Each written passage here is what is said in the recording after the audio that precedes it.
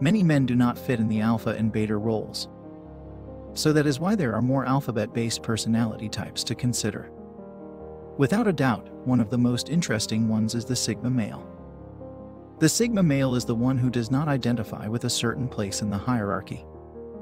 Moreover, he uses the hierarchy to his advantage. He loves freedom, independence, and solitude over status, money, and fame. Sigma males are often the ones who step outside their comfort zones, create amazing things, start businesses, are quiet and confident partners, and hard workers. Sigma males will rise to the top of a new hierarchy, but it will be of their own making and design. Number 1. He keeps silent when he doesn't understand. Many people have their opinions on things they don't know anything about. They simply want to look smart or dominate the conversation. But the Sigma male only talks when he has something valuable to add to the conversation, and this is only the case if he understands the subject. Moreover, as far as he is concerned, keeping your mouth shut is superior to speaking most of the time. Not only you are giving away valuable information when you are talking all the time, you are not listening to either. He who knows does not talk. He who talks does not know. By keeping silent, the Sigma male not only prevents disturbing a conversation with nonsense, he might learn something meaningful. There are exceptions to the rule, of course. We all get in a churning mood sometimes. Engaging in a nonsense talk that's just for the laughs. I guess then it's fine to talk out of your ass. Let's not take life too seriously, right? Number 2. He's morally gray, or worse. Sigma males aren't always the best people out there. But as they would say, it's always a matter of perspective. Sigma males can be righteous protectors of what they believe is right or wrong.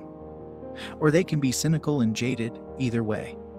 Their capability makes them a force to be reckoned with in regards to the status quo. Most Sigma males end up falling somewhere around the gray area of morality. They are generally introspective and smart enough to see that there are certain parts of the system that just don't make sense and therefore they don't demand the true respect that society tends to give them. They can see the flaws in social systems and don't always understand why we need to look up to them. So they're more likely to use their powers for disrupting the status quo. While that doesn't mean that Sigma males are bad people, it does mean that they need to understand the logic behind everything they do and support. If they don't, they'll be hard pressed to actually put their effort into doing something that seems stupid to them. Number 3. He knows how to adapt to different situations. Alpha males can grab a social group or a situation by the neck and make themselves the leader. But there are times when imposing your own leadership isn't always possible. When alpha males aren't given the respect or authority they think they deserve, they have a tendency to become a lesser version of themselves. And that's where a Sigma male has the advantage. While a Sigma male can be in charge if they need to be, they don't require the validation of being the leader in various social situations and power dynamics. They are happy to fit whatever role is needed for them at any given moment, meaning they are more fluid and flexible than alpha males, and thus more commonly successful in any situation. With no self imposed expectations or pressures, a Sigma male can be either a follower, a leader, or any position in between, as long as they know that they are being used efficiently and productively. The problem with this, however, is that this can sometimes rub other people the wrong way. The unabashed confidence and freedom to play any part can come off as arrogance, intimidating those around the Sigma male. Number 4. He goes left when the majority goes right. A Sigma male is by nature a nonconformist. He does not follow the herd unless he has a good reason. Yes, he can be social and enjoy social gatherings as well. But in the grand scheme of things, he rather goes his own way. The Sigma male recognizes that herd behavior is often the consequence of being led, like sheep by a shepherd, and because he does not like authority. He sees himself unfit for the majority. When he travels, he avoids the big tourist attractions. When he goes for a hike, he prefers uncharted areas. He is rarely susceptible to hypes trends and mass hysteria. This does not mean that he denounces the world. When he feels like he blends in, he knows the herd, he knows how to act like one of the herd. And he even knows how to dress, talk, and think like the herd. But he is not part of the herd. And that's his secret.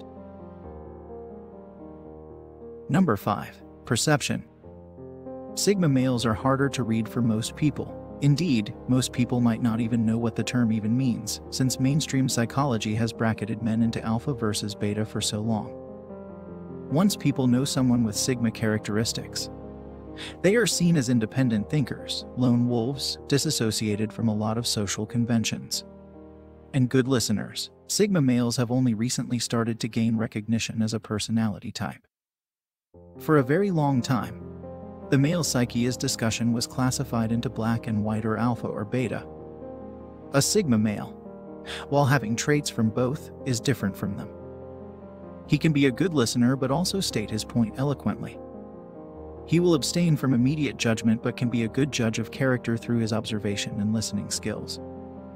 He will not crave leadership or dominance but can handle the responsibility. Number 6. Attractiveness. Each one of these personality traits of a Sigma male makes him extremely able to attract women. The truth is that most girls see their bad boy, mysterious and self-sufficient natures as a challenge. They want to get to the bottom of their personalities and get to know the real guys hiding behind these masks.